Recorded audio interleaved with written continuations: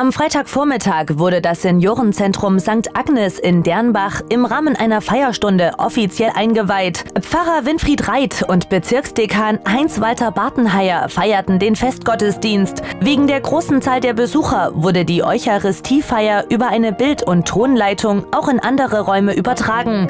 Im Anschluss an den Gottesdienst segnete Pfarrer Winfried Reit alle Räume und Gänge des Hauses. Der Geschäftsführer der Katharina Kasper Holding, Alfons Donat, steht für die Bewohnerinnen von St. Agnes ein. Jede Nonne erhält eine neue Heimstatt mit moderner Ausstattung und eigenem Bad. Und wenn es sein muss, ist auch eine vollstationäre Betreuung inbegriffen. Die Geschäftsführerin der Katharina Kaspar Via Salus, Elisabeth Disteldorf, zeigte die mehr als 160-jährige Geschichte der Gemeinschaft der armen Dienstmägde Jesu Christi auf, deren offizielle Geburtsstunde am 15. August 1851 in Dernbach geschlagen hat hatte und die sich bis heute im neuen St. Agnes Haus niederschlägt. Wir haben das Haus St. Agnes, das neue Haus für die Ordensschwestern der Armen Dienstmägde Jesu Christi, geplant und auch umgesetzt mit 74 Plätzen für die äh, Schwestern.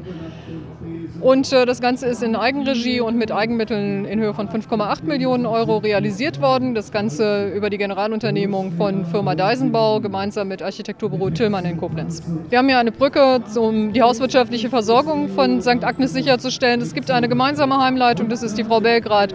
insofern haben wir hier ganz viele Synergien, die ausgetauscht werden. Maria Simone Weber, die Provinzoberin der armen Dienstmägde Jesu Christi, spannte den Bogen vom früheren Kindergarten zum jetzigen Seniorenzentrum. Sie sieht in dem Neubau des Agneshauses den Auftrag, sich um die ältere Generation der Schwestern ebenso zu kümmern wie diese früher um die Kinder. Also viele sind überrascht, wie schön es ist. Manche trauern natürlich dem Herz-Jesu-Heim nach, weil das so ein schöner neugotischer Bau ist mit den Größen, äh, mit den Bogen und so in den hohen Fluren. Aber sie werden sich hier auch eingewöhnen. Und sie sind überrascht, wie schön es ist. Die Einrichtungsleiterin des St. Agnes Seniorenzentrums, die auch das St. Josef Haus betreut, Annika Belgrad, freut sich auf die duale Herausforderung. Wir haben ja auch im Josefshaus Ordensschwestern wohnen. Dadurch ist man mit dem Orden schon vertraut.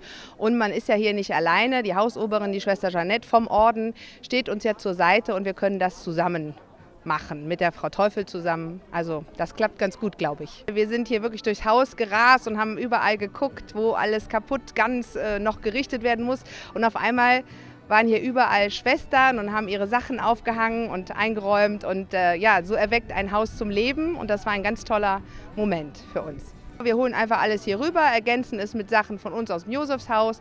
Also ich denke, die Schwestern werden hier gut aufgehoben sein, mit guten Nachbarn hier und da wird viel Leben in die Bude kommen.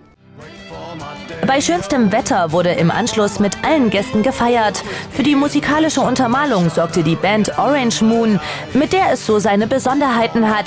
Das Ehepaar Angela Buchholz und Franz Schmitz sind der Katharina Kasper Gruppe ganz besonders verbunden.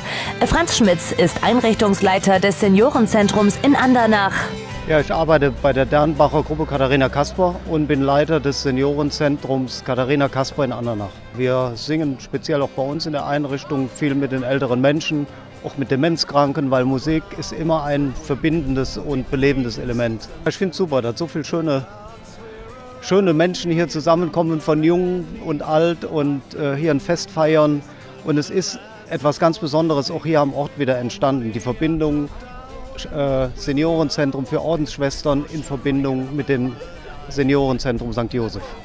Die gelernte Geigerin und Keramikerin Angela Buchholz arbeitet nebenher mit auch dementen Bewohnern des Josefhauses und hat mit ihnen zusammen das tolle Relief geschaffen, das als Willkommensgeschenk überreicht wurde.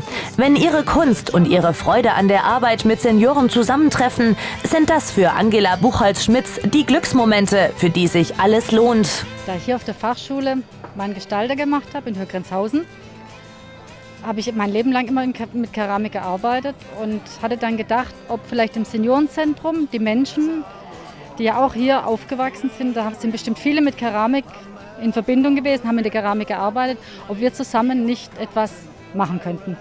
Und so entstand die Idee, ein Bild zur Einweihung von diesem Seniorenzentrum zu fertigen mit allen Bewohnern.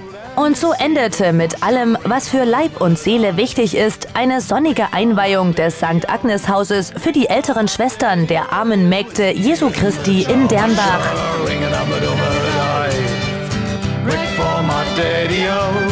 Wait for my daddy-o, there's whiskey in the jar.